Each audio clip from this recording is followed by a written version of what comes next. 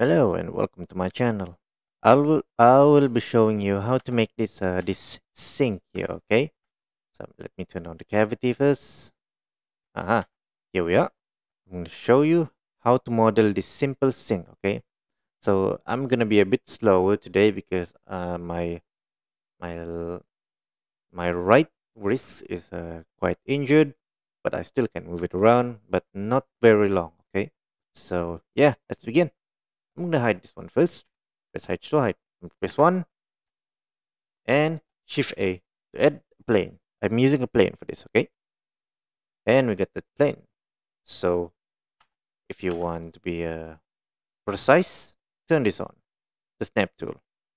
Go to up, go to now you can model this with a precise one. I mean, if I press here, if I press G to X, you got something like that okay?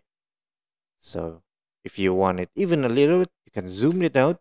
Maybe you can press 7 make sure in top view if you want to be a, to be them to be smaller and zoom them, zoom them out okay? So uh, stop talking okay okay.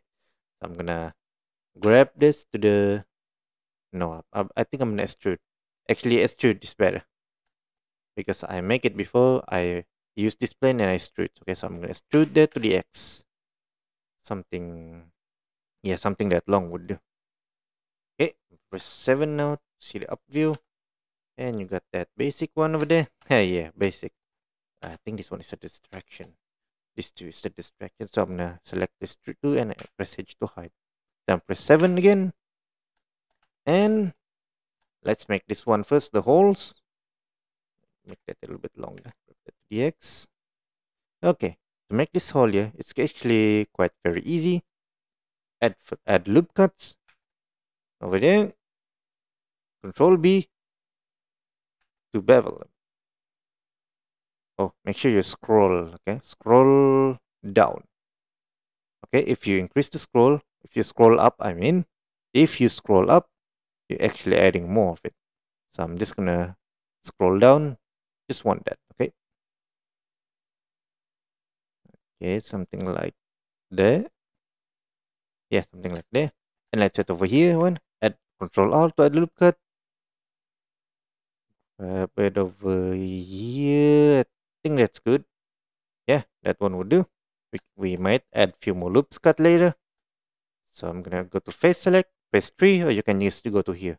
If you're on the desktop then yeah you can press 3 i'm gonna press 3 i'm gonna press 1 now Press E to extrude to the Z. Okay. To the Z. Make sure it's straight Z. Okay. Not not uh grab not not uh not not uh, what am I saying? Not like this. Okay. Just press Z. But first, control Z that I'll make I'll do that again. Okay. So the face select, press E to extrude, and press Z. Okay press Z again. Make sure the Z is highlighted brighter. And something over there. Something that's sync over there. Okay. So now press uh, I to insert, but we're not gonna insert. Okay. We're gonna control B. No, not yet. We're not gonna make that yet. Let's make the hole. So how do I make this hole? I add a loop cut. Control R, add a loop cut over there. And control control B. Something like that. I believe something like that. And let's uh, control R again over the middle. And move you scroll up. And there we go. So this is the hole no, but I'm not gonna add anything yet. Yes I'm gonna press 7 see what we miss. Yes, we did miss a lot. So I'm going to press 3, face select. I'm going to delete this one now. Delete those face, suddenly. Delete those face. Okay, got something like that. Okay. We can make this round, but I'm going to show you that later, okay? Let's focus over here now. Let's make the, uh, the you know, the wave stuff here from the metal. I don't know what it calls, but something like that, okay? So let's go to here um, uh, add few more loop cuts on it. Over there. That will be too much, I believe. This, this, and this. Yeah, it is too much loop cut, but yeah, maybe it helps. So go to face select now. Select this, this, this, this, this, this, and this. Okay. Okay, like that.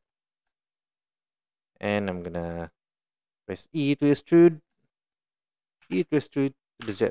Okay, but not like that. Okay, so I'm gonna Z that, press one.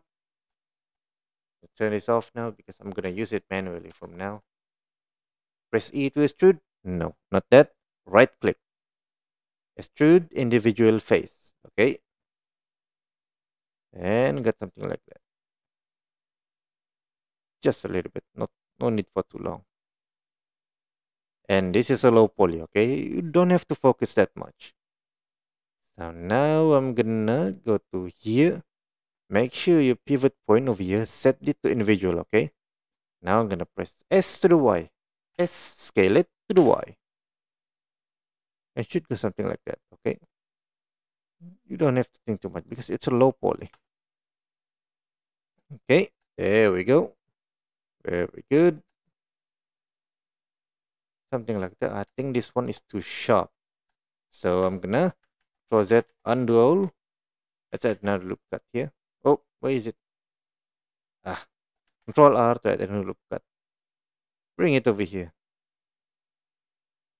Okay, something like that. And select those face. I'm gonna press 7. And I'm gonna press C. This is new one. new method, I believe. Uh, okay. I think I need to add another loop cut over here. This time I'm not gonna use the snapping tool because this is about your instinct. Okay, your instinct, your style. Okay, so I'm gonna press C, or you can just select here.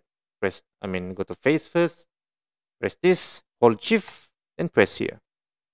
Nah, not like that. just press C would do. Okay, that would do. Right click, individual face. In individual face, yes, individual face. Okay, just a little bit, but not too much. And scale it to Y and make sure you're in the, the individual origin pivot point, okay? Scale it to the Y. Yeah, something like that. This is a low poly because you don't have to think too much about the high poly stuff or whatever, okay? So I think we're almost done. So I'm going to select all here. I'm either select it all by pressing A and press M and merge by distance. The reason why we did that because if we have any doubles, that's going to be trouble. So to avoid any double by distance, okay, press M and by distance, okay. So the last part, I believe, let's make the sphere here. This one. Let's make it turn it into sphere. I mean almost sphere. Okay. So let me add another loop cut, control R. Now it's valence. Okay. Add here, add another loop cut here, control R here. Add another one again here. And there we go. The more you got, the rounder it is. But this is a low poly. So why do you need to think too much? It's up to you. okay. Make sure you hold Alt, oh, hold Alt, and select this here. This is the one that you want to turn it into sphere. So, how to turn this into a sphere? Go to edges here. No, not there. The transform from the mesh, okay? Transform and choose this one. Or you can just go to shortcut, Shift Alt S, okay? Now I'm going to select this one to sphere. As I move my, my cursor around, it should be moving something like that. I think that's way too round. And it's very good. It's quite big, but you can make it small. Oh, yeah, I press play. You can make it smaller. Okay, select again and press S. Just press S to scale. Okay, something like that. Okay. Oh, one last thing we need is this. Select those edge over here. Select it over there. Oh, wrong edge. Oh, wrong that one again. Select this one, this one, this one, that one as well. and press E to extrude. The reason why I make this because most sink has a little bit of something to hold for the on the bottom. That really and scale it a little bit. Ah, here we go. There we go, guys. That's our sink over there.